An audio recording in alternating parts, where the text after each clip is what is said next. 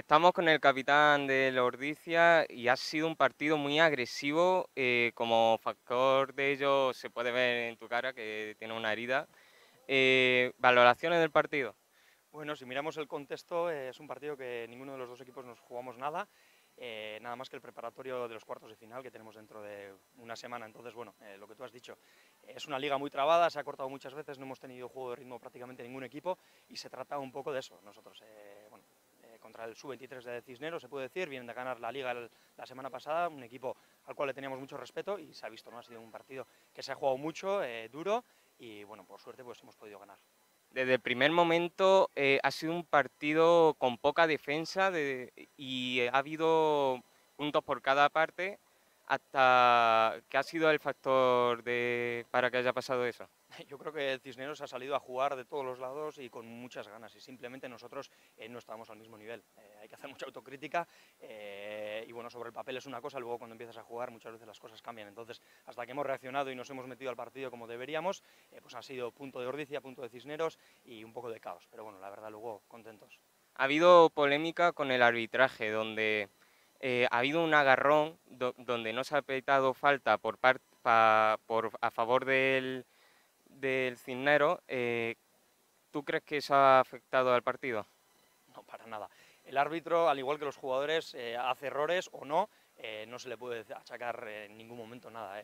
Sí que hemos tenido tarjeta roja en el minuto 20, eso eh, pues de cierto modo te, complica el partido porque eh, estás obligado a jugar con uno menos eh, los 60 minutos restantes, entonces, pero bueno, no es culpa del árbitro. Al final, si alguien hace una infracción, la paga y, y de ahí, pues bueno, ha sido un poco la resiliencia, que, que nos hemos juntado y la verdad que hemos empezado a funcionar y a sufrir juntos. Ya como última pregunta, se ha visto en una jugada en la segunda parte donde el Cisnero ha intentado meter un punto, pero o sea, no ha podido. A- Eso significa que habéis tenido una buena defensa. Sí, eh, lo que te he dicho, nos ha costado en cierto modo meternos al partido, pero una vez que estábamos dentro, eh, ha habido un par de defensas, como tú bien dices, a 5 metros de nuestra línea de ensayo, que hemos salido recuperando esa pelota. Entonces, bueno, las ganas estaban ahí, la intensidad también, pero hace falta eso desde el minuto uno de partido. Bueno, las sensaciones son muy buenas. Hemos venido con un equipo que, que era sub-23 casi todo. Hemos sabido disputar y al final ha sido un partido muy divertido para todos y nos han dado la oportunidad a muchos de los jugadores que debutaban hoy a disfrutar y a, y a pelear por el escudo. Desde el minuto uno ha sido un partido con poca defensa y muchos puntos.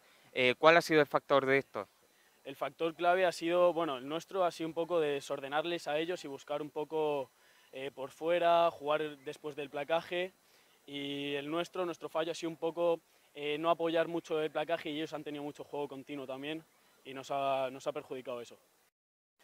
Creo que al principio hemos cometido varios errores, creo que hemos tenido un comienzo bastante lento.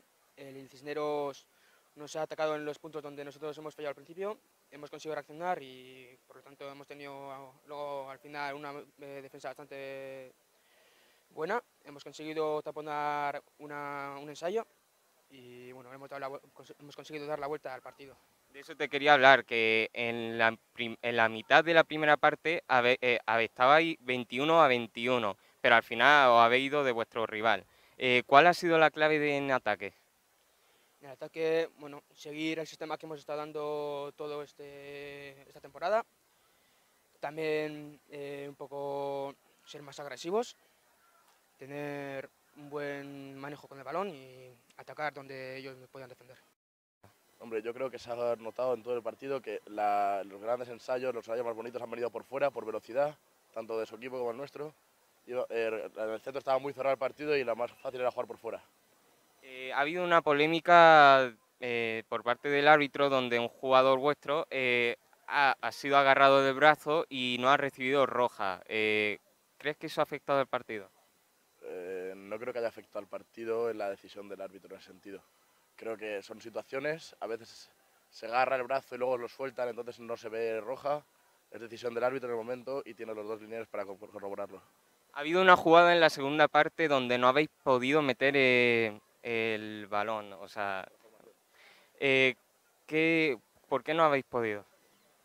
En, en los palos, dices. En, en una jugada, en, en la defensa del, del, del, del Ordicia. Porque nos han trabado la bola. Han, han- han defendido muy bien, han subido rápido y nos han trabado la bola. Vale, muchas gracias.